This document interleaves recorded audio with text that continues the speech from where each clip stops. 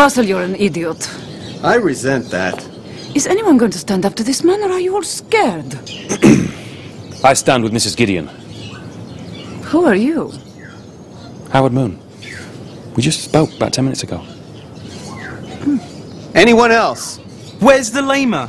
He's lost. Where's the squid? Where's the what the? Where's my frog? You smoked it last night. Oh, yeah. Where's